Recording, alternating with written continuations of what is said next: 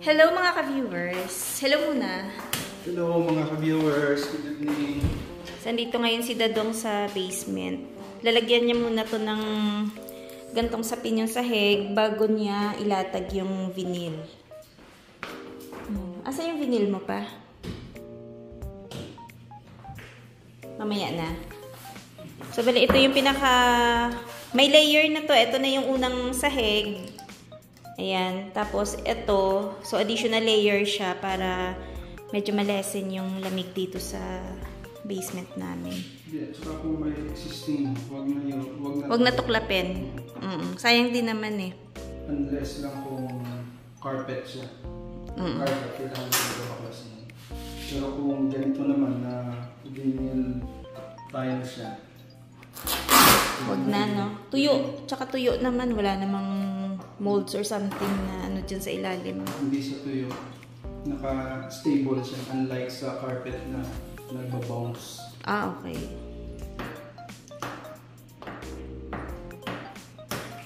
Ito din po yung sinapin nila dun sa room nung naglatag din sila ng vinyl. So, hindi siya ganon kalamig yung sahig pagka yung apakan mo siya. Lalo na sa winter. Additional lang pala kapag nag, uh, for example, nag-layout kayo ng ano, nag-layout kayo ng uh, floor area nyo. Once na hindi equal, kumbaga hindi siya perfect uh, Square. square or hindi siya perfect size. No? Mm. Ano ba, yung naka, Naka, may, may slant, may ganon. Mm. kung hindi siya nakaskwala, sukatin nyo to yung end to end. Yan. Susukatin nyo yung sukat niya. Dulot-dulo. Tapos, guhitan nyo yung gitna. Once na may guhit na kayo, ganun din ang gagawin mo sa kabila. Dito. Para lang po sa mga magdi-DIY yan. Kasi Oo, dito para po DIY. Para sa mga gusto magpalit ng nail tiles na katulad ko rin, DIY lang. Mm. Yan, for example, ito, sukat niya. 113. Yan, for example, yan, sukat niya 113. Ang 113 na yan, i-divide nyo lang. Kunin yung Kunin mo- center. Kunin mo yung gitna. Ayan siya. Mm. Yan, gitna. Mm. For example, pag nag-layout kayo, ang konting tutorial lang sa mga hindi marunong kasi sa trabaho may nagtatanong. Dali lang. Oo. Ay, by the way pala, ito na po yung ginawa ni Dadong na pinto. Ayan o, hindi ko pa napakita to last time eh. So, ayan. Nilagyan niya ng hamba. Tapos, ayan na. Kasi dati, kung makikita niyo, ano, open lang yan. So, ganyan. Umayos na. Nilagyan ko na siya ng pinto kasi pag summer, yung langaw, minsan di ba pag nagbukas ka sa Mm, yung galing doon. galing sa labas. minsan Yung mga may- wasp, minsan pumapasok may- dito. May, nakakasalisi na ano ba. Hmm, yung mga bugs. Mm. Siyempre hindi naman natin may iwasan yung bukas-pasok doon sa Kusina. sa kusina pag summer, yung back door. Yan, magdi-DIY lang kayo ng ano, ng hambal. Mm, parang hindi nga halata na DIY lang eh, no? Tulad dito. Yan, kung makita nyo sa uh, previous na video namin. Ito ano lang siya, 2 by uh, 5.5. Yung ginawa, ang ginamit mong kahoy. Yan. Tapos ito, may mga space yan dito, nilagyan niya ng, ano yung nilagay mo? siya ng Caulking. Pag ano. Mm, Tapos ito din. Actually, kapag gumawa ka talaga, mayroon ka talagang katam dapat Mm. na para pang ah, gawa ng kanal. Ay, parang Para- isi-shape mo siya. Mm, para stopper nito, since kasi nakulang ako sa gamit, diniretso ko na siya, tapos nilagyan na lang ng ah, Yung, parang ano, border. border. Tapos pinturahan nyo na lang kung gusto nyo yung pintura. Tapos ito, ito na rin Ito, ayan. Siya din yung nagbutas niya, nilagay niya yung doorknob. So, kasi- meron na kaming pinto dito. Ito kasi kapag yung, for example, may mga sabarats na gusto nyo lang naman masila kasi yung ilaw namin. Mm. Kung gusto nyo kasi na maglagay or magpalit ng pinto na pang indoor, magabang kayo sa Marketplace o kaya sa Marketplace, dito sa amin kasi may barrage or marketplace sa Yeah. Facebook. Tapos butasan nyo na lang. Mm. Yan. Kaya na lang maglagay. Kung gusto nyo na disusi o ano. Mm. Yan. Yan. Parang hindi mo na rin masabi na ikaw lang ang nagawa kasi Mm nga. Parang solid siya no tingnan. sinawala na yung mga butas-butas niya. Tapos kapag napinturaan mo na yan, Oo nga. maganda. Maganda na tingnan. Kala mo parang solid na na kahoy yung nilagay mo dyan, ano? So, ganyan. Kasi dati, ito na yung pinto namin, yung room namin ni Denise doon. Tapos dito yan si Dadong dati. Eh ngayon, ayan, dalawa na yung kwarto namin. Kwarto slash, ano pa, tambayan. Tapos meron din doon, may space din kami doon sa labas eh. Yun. So, malawak na yung aming area. Ito sa mga nagtatanong sa akin na kung paano maglagay ng vinyl. So, ito yung gamit yung vinyl. For example, ito. Yung sukat niya nito ay mayroon siyang 7 and 1 fourth. Mm. Yan. Kapag ah, hinati mo siya, mayroon siyang 3 and 5 8. Mm. 3 and 5 8 siya. Ayan. Pero pwede mo naman siya gawing hati. For example, for example ito yung ano niya, ito yung gitna niya. Gitna ng kahabaan niyan. Mm. Pwede ka maglatag ng dito ka magsisimula. Ganyan. Yan. Ganyan yung sukat mo. Isis, igigilid mo siya doon sa pinaka Yung line. center. Oo, yung line. Nilagyan niya kasi ng line. eh. Yan. Pinakahati yan. Mm. Tapos kailangan siguraduhin mo pagdating doon sa dulo may enough ka na space na hindi ka mahihirapan. Mm. Hindi ka mahirapan maglagay ng kadugtong niya. Kasi kung kung dito na yan kasi sa dulo, may awang siya na ganyan. Mahirapan ka na maglagay ng Maliit na ano piece ano? Oo, mahirapan ka na. Kailangan i-divide mo siya. Para yung matira pa, hindi ganun kaliit. Ganun ba yun? Oo, para okay. hindi siya ganun kaliit. Ayan o. Parang half lang yung natira dito. So, hindi ganun kahirap Siguro, ilagay. oo, siguraduhin yun, nasa dulo, mayroon siyang, ayan o. At least one half. Ayan o, basta enough yung, yung vinyl mo. Kung, Hmm. kung ang vinyl mo ay 7 point, ah, 7 and 1 fourth, ayan, kunti lang yung ibabawas mo. Mm. At saka malaki ang space nito. Mula dito sa corner, papunta dito sa end Mm. ng vinyl. Mm. Kung dito ka mag-start. For example, kung maliit naman doon, na dito ka magsimula sa corner, for example, maliit na dyan, ang gagawin mo, mag-adjust ka. Mm. Kung ito yung center niya, Mm. hati hatiin mo to ang sukat niya. Let's say 3.5. Tapos sabihin na lang natin na 3.3 kasi ang total niya nito is uh, 7 po- uh, 7 and 1 fourth. Mm. 7 and 1 fourth siya. Ayan.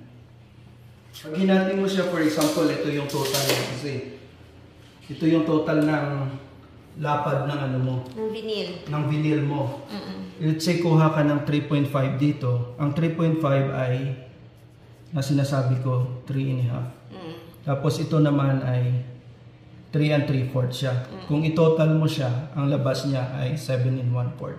Mm-mm. Yan. Para hindi ka na mahirapan na 5'8", 5'8", ng ganyan. Ganyan mo na lang siya. Tapos kapag nag, uh, for example, yun nga sinasabi ko maliit na doon, Mm. mahirap na mag-cut ba para idugtong. Gagawin mo, dito ka na naman magsisimula. Ang half nito, i-center mo dyan. Parang ganun na naman siya. Mm, para sumakto doon. para ang ang start ng buo mo dito. Kung makikita niyo to, ito yung diretso ng kalahati. Tapos umatras ka lang, umatras ka ng pakaliwa ng 3.5, tapos atras ka rin ng pakanan na 3 and 3 4 Yan, so. Yan.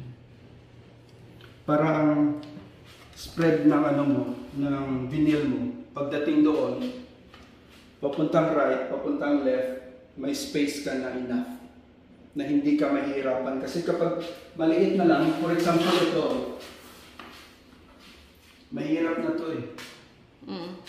Ayan. Oo nga. Ayan o. Mm-mm. Kasi kung, Mahirap magdugtong ng ganyang kaikse. oh, tingnan mo to. Kasi ayan o, 7. Pagdating dito, yan na siya. Ang maiiwan, ito na lang.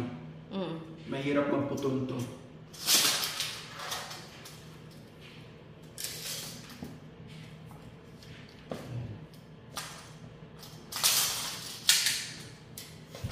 Pero kung pero kung sa gitna ka, sa gitna ka dyan, igitnaan mo rin yung yung vinyl mo, ang end niya dito. Ito siya. Yan. Ito. End na. For example, ito, kinalahati mo siya. Ito na yung sentro niya. Doon mo siya ilalakad sa center din. Center din ang kukunin mo. Para pagtakbo ng ano mo, vinyl mo. Papunta dito, hanggang dito. Kaya may enough space ka dito para, eh, mahirap kasi, mahirap pag ganito kaliit.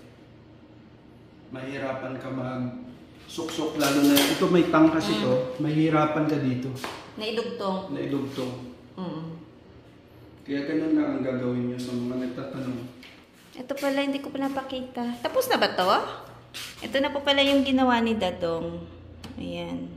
Tatlong layer. Pwedeng lagyan ng damit. Hindi pa, hindi pa tapos. May pintuan pa to eh. Oo.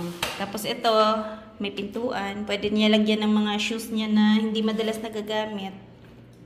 Na? Mga ilang boxes pa yan, no? Konting retouch ng pintura. Yung dulo-dulo pa, ano yan? Lalagyan mo pa ba ng border yan o piturahan na lang?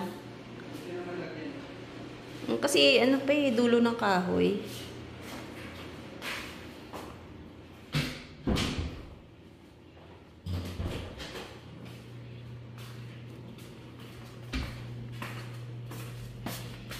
Tapos dito, ayan, may mga kalat pa rin kami dito. Kasi andyan nga yung pang sahig.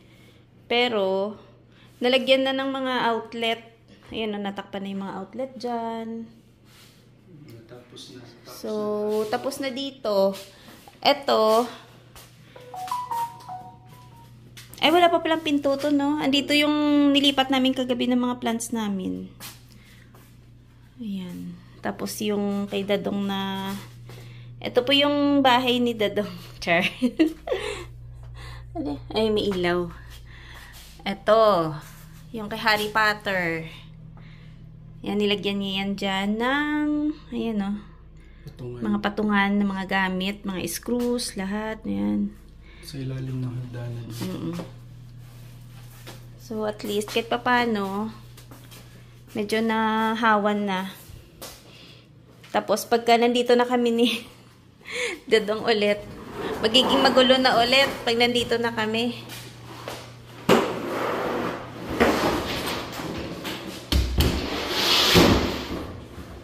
Hawakan ko yung dulo. Sumusunod eh. Ay, ka. Kapal pala to.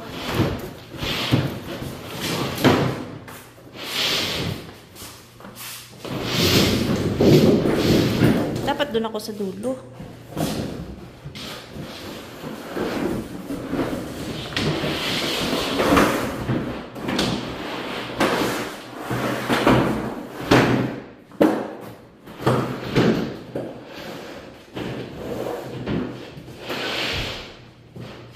Ganyan siya. Medyo makapal din to. Ayan o. Ganyan.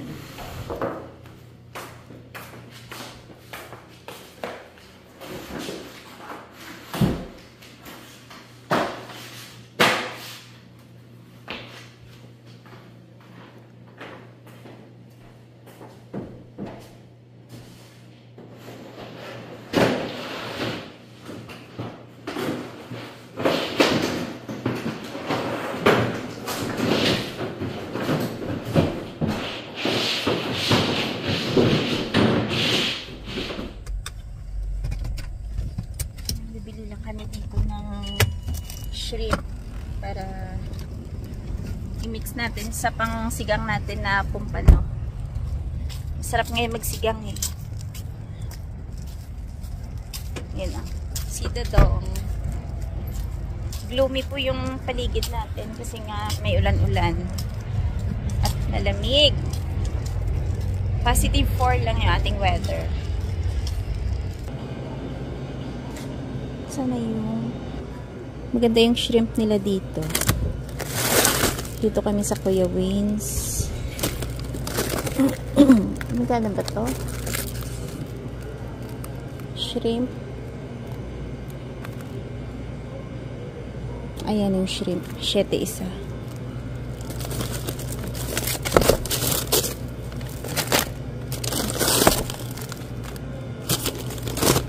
Bumili ako ng 5-5 na fried sardines tsaka black beans para dun sa bangus kasi magtutotso daw kami.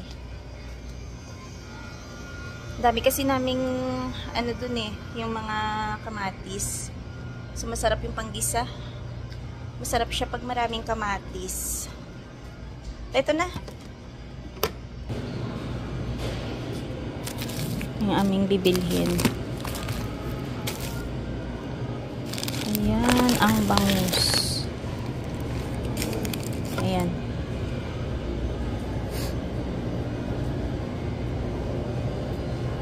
Nanap mo. Ito yun, no? Ito yung magandang bangus, yung may pangalan. Kumbaga may brand siya. Kasi minsan dito sa ibang store, yung may bangus na walang pangalan, may lasa siyang lupa, amoy gilik.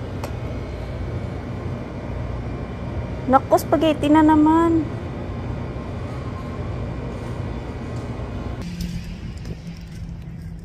So, ayan. Uwi na po kami at magluluto tayo ng sinigang. Bangus na lang siguro pa, no? Para mas masarap bangus pa. Or yan. Or pampano. Pwede din. Paano na lang Depende mamaya. kakain sila. Ayan, pampano na lang daw yung ating isisigang na may shrimp. Tapos, tutuloy namin yung paglagay ng vinyl dun sa basement. Para makalipat na kami dun. Ah, Hindi mo lang tayo lumipat kasi hindi naman... Lumil Oo nga, pwede na tayong lumipat dun sa loob. Kasi ano po kami ngayon, squatter pa kami ngayon eh. Para lang kasi na hindi namin malanghap yung alikabok doon kasi 'di ba pag gumagawa yung alikabok na sa pinag ano pa no, pinaglihaan ng wall pati yung pagputol ng kahoy, ang dami. Eh, yung mga yan, mga pasaway ang aga. Diyos ko po.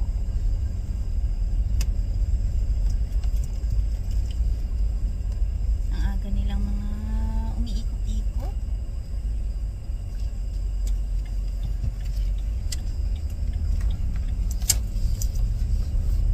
Hello pala kay Lakay Laur. Ayan. Kay Laur na buhay ah. Lagi nanonood sila kay. Busy pati, di ba Lakay? Kamusta la kay Laur? Um, sabi niya, ano daw. Hindi kasi nabanggit ko dun sa isang video natin na sabi ko maraming yung maaga pa dito, daming lasing na nadaanan namin sa hood. Tapos may mga tattoo. Yun, parang na-mention ko lang. Hindi naman ibig sabihin nun na mention ko na masamang tao yung may tattoo. I mean, yung mga nakikita ko lang dito, usually ganon, mga lasing, tapos may mga tattoo. Trend lang dito. Kaya. Kasi yung iba naman yung mga tattoo, ano yan, eh, art nila yan eh, di ba? Art talaga yan. Oo nga. Yung iba naman, siguro mga trip lang nila na maglagay lang ng ganyan. Sige, gloomy talaga yung panahon namin. May konting ulan. Paggabi pa to eh. Pusa at saka Pusa. aso nagka... Nag-stop yung aso. Para mag-aaway pa. Ay, ang ganda ng kulay. O, dilaw na dilaw, o. Pero may ibang puno talaga na nahuhuli, ano? Daan muna tayo dito sa Dalarama. Ang tagal na namin hindi nakadaan ng Dalarama. Ano ba? Huli nating daan nung summer pa ata. Ibibili lang akong ano, mga gamit sa kusina, truth.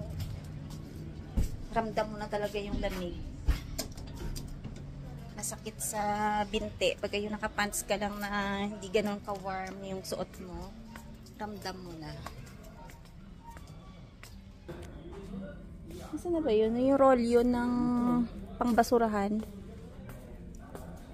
Hindi yan pa yung white. Nakarolyo yun eh. Hindi ko alam kung yung glad.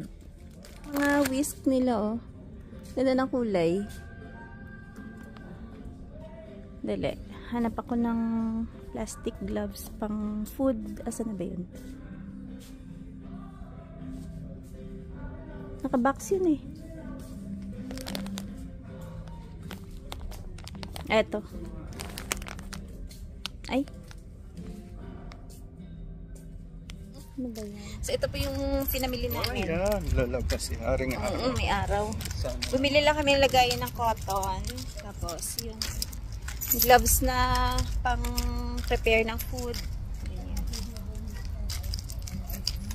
Ano ba parang naka-speaker? So, uwi na tayo. Kanina pa ako nagsasabi na uwi. Ayun si Dadong may sinasabi. Kasi nakita namin yung friend niya na dun sa harap ng bahay. Sabi niya, sabi niya, ganun pala talaga yung buhay ng tumatanda, no? Tapos kape-kape na lang. Kakape-kape, tapos Nandun ka ba? Nandun ka na ba sa stage na pa tawa kami ng tawa eh. Ano naman, nagkakape pa lang naman. Nag- Hindi rin, maaga ka na rin naman nagigising ah. Ay, Diyos ko. Pababata pa ako. Matanda. Ano ka sa'yo? Tapos, ano kasi yun eh, dito yun sa care home. Tapos, ando nakita namin sa harap ng team, siguro nag-drive-thru siya. Tapos gumilid lang siya, doon siya kumakain. Binati ni Dadong, kumakaway naman. Kawayan sila. Ay, wala pa nga siya dito pa. Ano pa siya? Ay, nako. Yan, simutin natin yung kamatis namin. Yan, ang pa ilan-ilan pa eh. Pangsigang natin ng pompano. Oh, ganda. Ayun, no, parang nasisira na siya kasi lumalamig na nga. Pero, mukhang lumalaban pa naman. Yan, ito naman hindi ko pa mapitas kasi hilaw pa. Sana wag muna masira kasi sayang. Aha. Ayan. Ito no. Ito malapit na oh. Malapit na mag-orange. Diyos ko, ang lamig. Lumalaban pa yung mga talong namin. Ano, may laman. Ay, may ano pa. Ayan, may bunga pa yung talong. Nalalanta na yung mga dahon nila. Hindi na carry yung lamig kasi nagsi-single digit na eh. Uy, nalaglag na nga yung isa. Ayan. Yan, yung iba, ayan na oh. Pasira na. Pero siguro may hihinog pa yan. So, pwede na to. Pang sigang. Ay. Ito pa pala. Lagyan natin ng leeks para bumango yung ating sinigang. Ayan oh. Sayang pa tong leeks. Ayan, pampabango lang. Yeah. Saan na ba yun? Tara, sigang na tayo.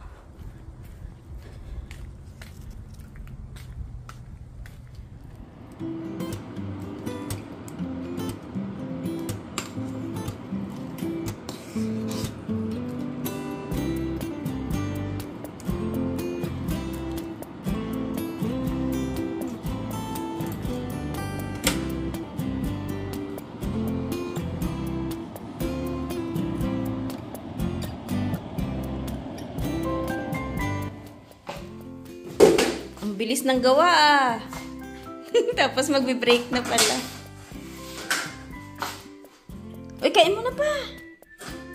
Kain mo na. Ay, Ito pa mali. Saan yung gagamitin mo dyan? Ang bilis ng gawa nila, oh. Ngayon lang sila nag-start. Ito yung apprentice ni Dadong. Apprentice to, apprentice. Mm Pinag-aaralan niya para pag nagkabahay siya, siya na rin yung magre-repair ng basement. Hmm? Bakit magre-repair ng basement? Ay, bibili si Jason ng mag... Oo, bagong bahay, di ba? Inassume agad na... Yan. Yan ang gagamitin mo. Yes. Mm. Yan, 22 eh. Oh.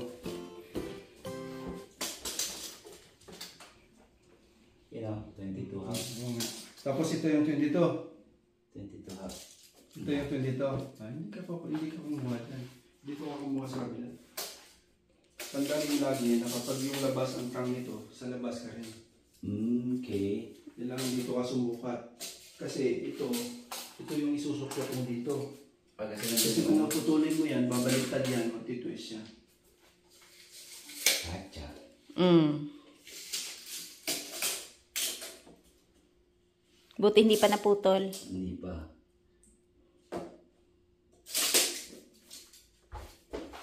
Para pagpasok natin sa trade school. May alam ka na. Magti-trade school pala siya. Oo nga, diba? At least may idea ka na, hindi ka na mangangapa. Gusto mo mag-upgrade? Mm Mag-upgrade, upgrade. Mag, ano pala, gusto ni Jason mag, ano, maging karpintero dito. Oo, para meron kang ibang alam. Mm Tsaka malaking sahod. Si Dadong kasi, ano eh, late na lang nakapunta dito. Medyo may edad na so hindi na niya na tuunan pa ng pansin pa, no? Yung ganon. Hindi- Dati sabi nila may age limit, pero hindi ko na-check kung talagang may age limit eh. Yung ano, sa trade school? Tama.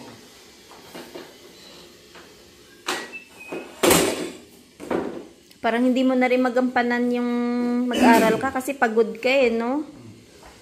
After ng pasok mo, kailangan na ipahinga na muna. Grabe, gra- grabe yung ano ko, overtime dati kasi. Mm. Aba, yun na, kumakabit na ng vinyl. Tingnan natin kung pasado. Asan? Ano dapat? Ayun. Dapat may pamukpok. May pantula. Ayun, may pantulak. Yan.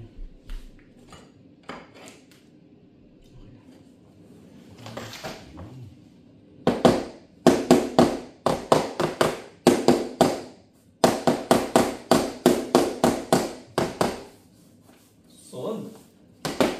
Naglock na. Ah.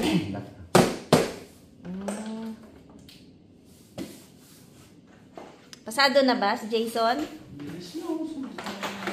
Ay, hindi sumasagot. Mamaya. Oo. Aba, Coffee. grabe naman. Pinakyaw agad. Tapos na ito mamaya. Sa Ilang minutes lang kaming nawala eh. Ikaw lang may coffee, kami wala. Ay! Gusto niyo ba? Gagawa pa akong maruya. Yan. Pagkagawa ko na ng maruya, no? Na-stop lang ako ate kasi hindi ko alam mo. Ay, yung corner doon. Kanina kalahati pa lang to eh. Nagsundo lang kami. Ang Bilis. Kinareer ni apprentice. Pwede nang pakawalan pa na. Hindi na. Tapos, ano din natin ulit yan? Yung Talaga. kakat. Talagang kinukuha yung mga tips pa. Inaaral ano. Siyempre. Kailangan hindi lang yung gagawa ka. Kailangan nag-observe ka kung paano ginawa. Intindihin na, no? Ito na po yung inyong Marites. Kamusta na yung latest dyan? Wow! Patapos na nga. Iba talaga.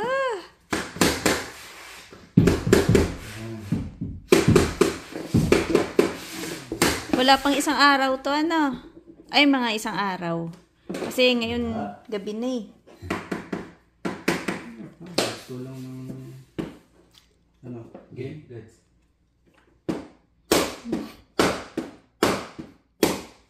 na rin ni Jason ha.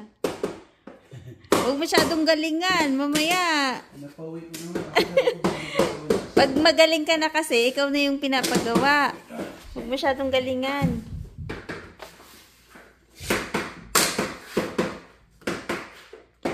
More? More. Okay. Okay. Na. Okay na guys. Okay na, Koys? Pwede na yan. Shoutout pala kay Ate Welda. Wow.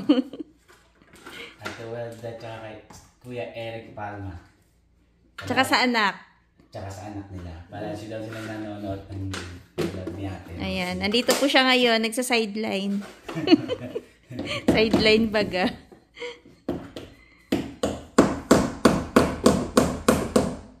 Ano pre, pag, ah, Pwede na. pag gumawa ka ng ano mo, flooring mo. Alam na.